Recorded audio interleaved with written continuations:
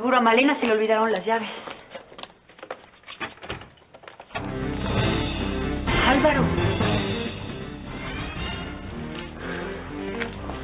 ¡Qué sorpresa!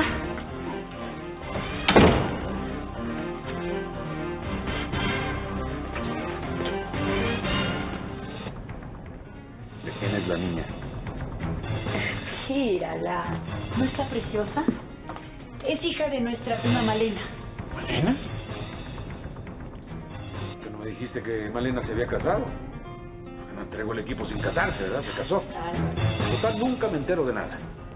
¿Sabes que tienes razón? Hay muchas cosas que tú no sabes, Álvaro. Pero porque no muestras el menor interés por nadie. Tú mismo. ¡Ya llegué!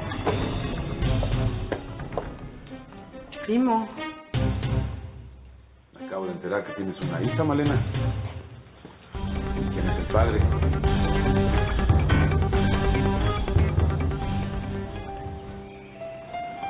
Veo que no me esperabas. Pensaste que me iba a volver. Jamás duda que vendré. Fui yo la que dudó, pero me equivoqué. Y como ustedes seguramente querrán estar solos, yo me voy a dormir otro rato, porque la cruda me está pegando duro. ¿Qué hubieras hecho si no vuelvo a buscarte? Me hubiera gustado hasta el fin del mundo. Pues no hace falta. Porque ya no puedo estar ni un minuto sin ti. ¿Vamos a caminar por la playa? Y esa es la historia, primo. Me casé y a la semana me quedé viuda. Pero ya esperaba a mi angelito. Pues cuánto lo siento, Malena. Por eso vine para acompañarla y ayudarla. Como si fuera de mucha ayuda. Una carga más es lo que eres para la pobre Malena. No digas eso, Álvaro. Mariana siempre será bienvenida en esta casa. Ella me ayuda bastante. ¿No será aquí? En la hacienda no sirve de gran cosa. Bueno, me llevo a mi hija a la recámara. Primo, te quedas en tu casa. Gracias. ¿Y cómo están Soledad y Alina? Vine a hablar contigo de otras cosas. Estás bien con Soledad. Ay, hermano, cuando me vine la habías dejado encerrada en el cuarto. ¿Y quién te dijo eso, pues? Nadie, yo lo supe. Ay, Álvaro, perdóname si me meto en tus asuntos. Pero creo que no debes de ser tan irritable. Soledad te quiere. Como dijiste, son mis asuntos y no me interesa ni más mínimo tratarlos contigo. Vine a decirte que vas a recibir un dinero mensualmente de acuerdo a la voluntad de nuestro Santo Padre en gloria. Quiero que sepas que me voy hacia respondida con Soledad y con Alina. Es mejor que te quedes tú aquí con Malena. Bien, como dijiste antes, pues allá no te hallas mucho, ¿verdad? Está bien, Álvaro. No tienes que recordarme tu desprecio. Después de todo, te voy a mandar dinero. Ya vamos a estar en contacto.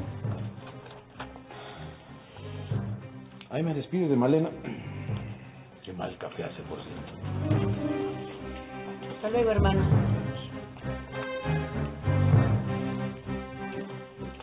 Qué inmenso es el mar, ¿no? Sí. Me da miedo. No como Sofía, pero cuando veo lo grande que es, me da tristeza.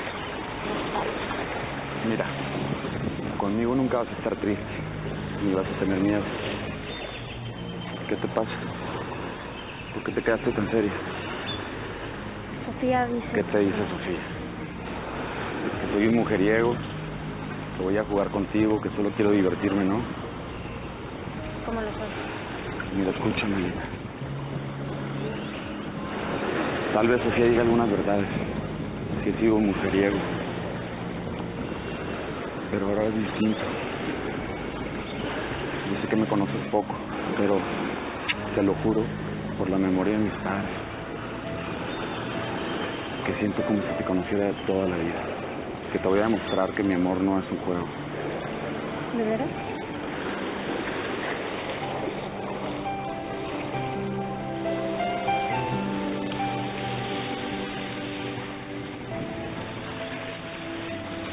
Esta noche me tengo que regresar a Puebla. Ay, ¿qué, Es que mañana me tengo que presentar muy temprano con mis superiores. yo pensé que íbamos a pasar todos estos días juntos. Pero bueno, vamos a estar muchos días juntos. ¿Mm? Por lo pronto, aquí te escribí todos mis teléfonos. Y tú me vas a dar todos tus números porque no te quiero perder la pista por nada del mundo, ¿ok?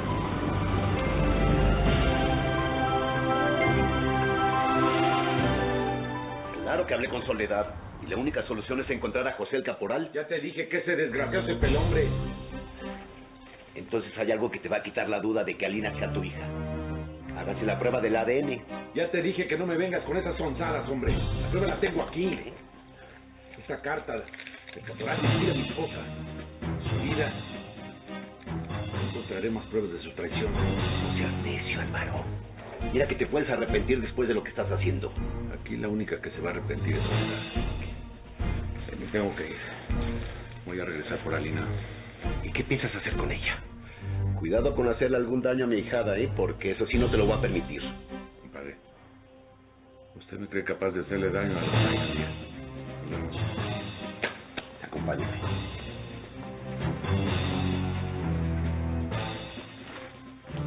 ¿Ya se fue? Sí. Dice que volverá por Alina. Ahora está enojado por una tontería, pero ya se le pasará en cuanto se dé cuenta de su error. Eso espero. hombre. Ya se fue, te divertiste, ¿qué hiciste? Cuéntame ya, hombre. El ángel, escúchame bien. Porque lo que te voy a decir es muy serio. Ay, ay, sí. Por primera vez en mi vida me he enamorado. Y nada menos que de una mujer hermosa e inocente. Alina, ¿verdad? Sí, hermano. Alina Montellano. Oye, ¿estás seguro que estás enamorado? Tan seguro que en cuanto termine mi carrera me caso con ella. Es tan bonita. ¿Qué digo bonita? Es hermosa, hermano. La amo. ¿Sabes lo primero que voy a hacer? La próxima semana me voy a Veracruz y pido su mano. Ay, Emilio, Emilio. O sea que la cosa va en serio, ¿verdad? Oye, ¿y esta Telma? ¿Qué vas a hacer con ella? ¿Va? Bueno. Hola, Frank. Sí, acabo de llegar. Disculpa, disculpa, hace mucho que me esperas. Casi una hora. Tuve una entrevista con el general Ochoa y me entretuvo. Bueno, ¿qué? ¿Sabes algo de Emilio? Ya me cansé de llamarlo, de ir a su casa. Su celular siempre lo tiene apagado. Emilio. Emilio ya regresó esta noche a Puebla. Por lo que veo, no quiere hablar contigo. Ah, Fran sí logró hablar con él. ¿Y sabes lo que me contó? ¿Qué? Parece que nuestro amigo Emilio Valtierra está muy entusiasmado con una joven de sociedad. ¿Nombre? No, no me dijo tanto. Además, yo no soy tu detective. Si quieres seguir perdiendo el tiempo con Emilio allá, nos vemos. No, Orlando, Orlando, no te vayas, por favor. Tú eres el único amigo que yo tengo. Yo no quiero ser tu amigo, Telma. Quiero ser algo más.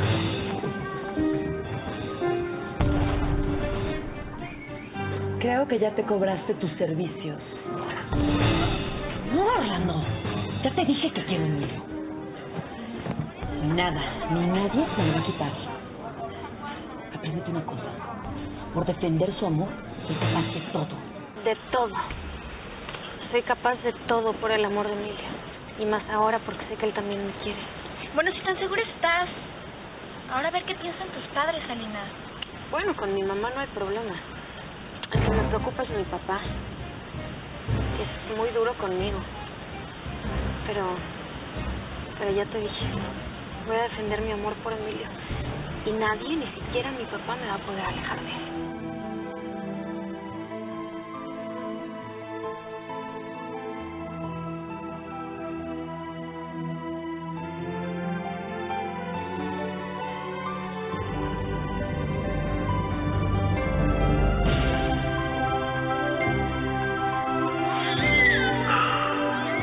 Cabe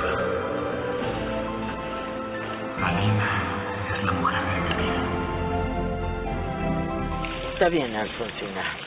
Calienta tu cena en la estufa. Y dile a Hugo que te pida un tanque de gas, porque no puedo estarte dejando entrar. Luego me regreso a mi cuarto. Gracias, Adela.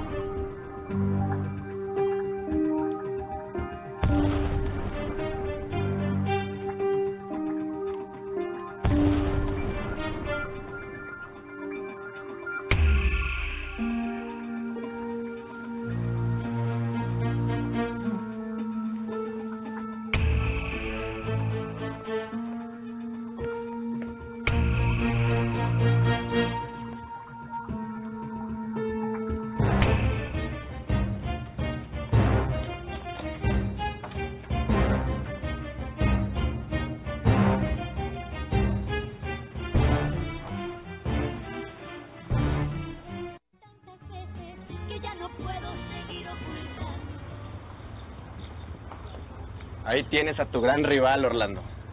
¿Por qué mi rival? ¿Cómo por qué? No siempre andas recogiendo las obras que deja Emilio. O seas estúpido, Frank. Oye, Orlando, no tienes por qué molestarte. Claro que me molesto. Emilio es mi amigo. Y no sé qué obras te refieres. Ah, ¿no? ¿Ya no te acuerdas de la teibolera? ¿Cómo se llama? Greta. Cuando Emilio la dejó, tú la recogiste. Esa tipa era de todos. ¿Y qué me dices de Coral? Estaba ilusionada contigo. Llegó Emilio y te la voló. Y no se diga de Telma Castelo. A ti te encanta esa vieja. Ella prefiere Emilio. Mira, Frank, mejor te callas, que me estás encabritando. No, no, no, no, no, no, no, no te encabrites. ¿Quieres un consejo de amigo? Mejor no te fijes en ninguna chava que le guste a Emilio, porque siempre te la va a quitar.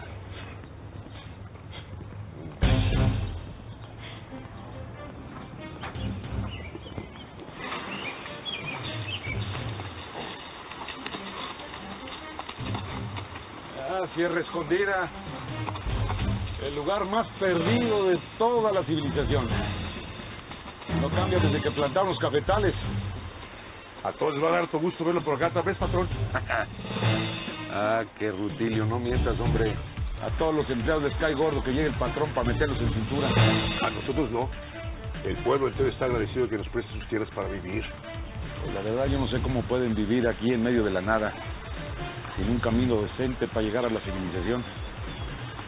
Pues sabes una cosa, así me gusta, así lo necesito.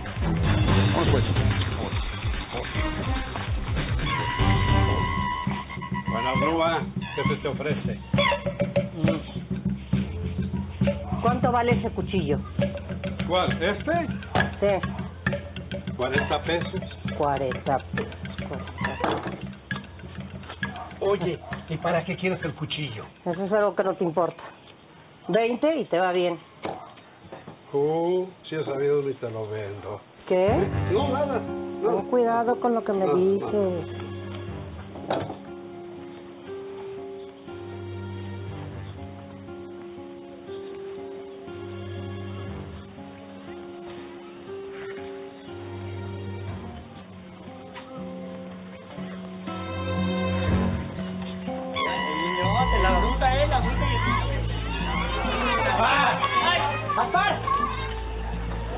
Estás molestando, ma. Eso sosiego. ¿Y usted? ¿Qué bebé?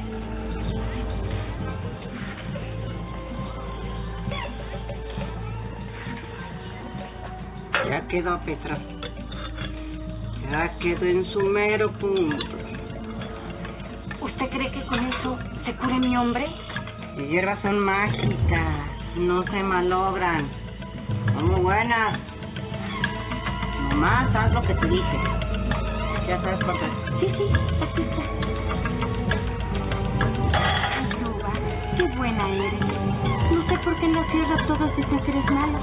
Que nos ayudas a todos curándonos. Petra, muy malo. Prefiero que la gente me tenga miedo a que se metan conmigo. Ahora, ¿te acuerdas de tu marido? Órale. Y no se te olvide, ¿no? ¿no? Primero eres tú. La fuerza de los hombres. Somos nosotras. Viejas. Oh, sí. Órale, vete. Está bien, Luba. Adiós. Gracias. Mm.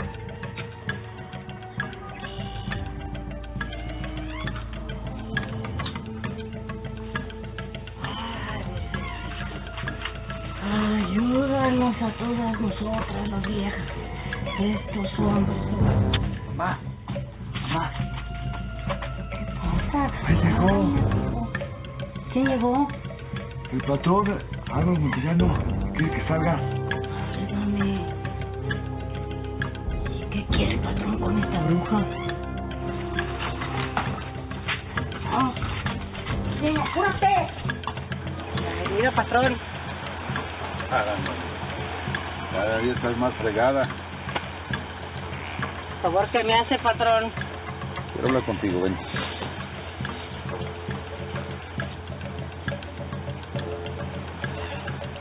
Mm, Cálmate. quiero hacer. Voy a traer una muchachilla aquí, no quiero que la toque. Gracias. Mamá, ¿por qué te digo eso, no? Y esto no es nada, hijo. Vamos a tener hartos hijos. Pero tenemos que obedecer al patrón. En un ratito vamos a tener aquí una flor. Una flor que nos va a dar el amo. Y que tú y yo vamos a tener que nomar. ¿Una flor, mamá? ¿Una flor de campo?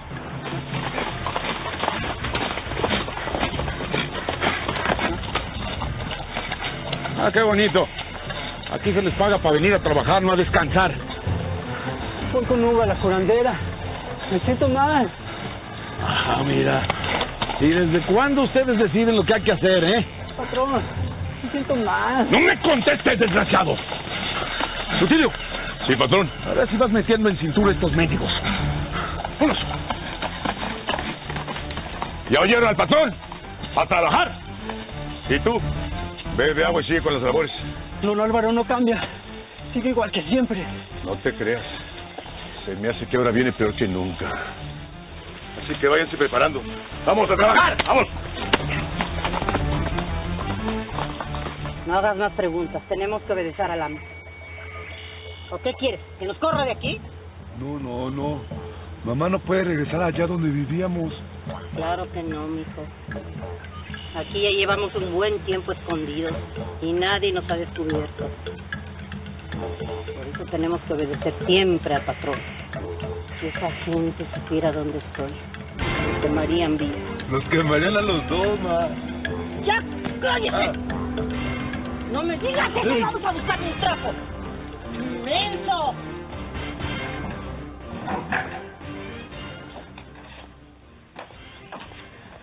Debo encontrar a esas clavas. Quiero que tengan todo listo. La habitación de la señora Soledad y aparte la mía. ¿Y la de la señorita Linda, patrón? No. No, no. Esa muchacha no va a venir a la casa. Y no quiero chismes ni comentarios. Porque el que encuentre diciendo algo lo despido. ¿Me oyeron? Pueden retirarse. Tú quédate, Rutilo. Diga, patrón. ¿Se arregló lo del trabajador? Sí, don Álvaro. No me gusta el desorden. Mano dura en el trabajo. Tú eres el responsable. Dime algo. ¿Sigue Máximo Valtierra al frente de la rinconada? Ahí mismamente sigue, patrón. Los verdaderos suyos ni se parecen por aquí. Don Máximo es la única autoridad en la hacienda de los Valtierra. Está bueno. Tendré que hacerle una visita. Además van a venir Adela y Sergio. También tú, Rutilo. Sergio va a ser el encargado de vigilar a mi mujer. ¿Vigilarla, patrón? Sí, ¿por qué? No quiero más preguntas. Mañana temprano me voy a Puebla. Y ahora me ensillas un caballo porque tengo que hablarle a Hugo por teléfono. Es una fea que no tengamos teléfono por acá. Eso de estar incomunicados. Bueno, con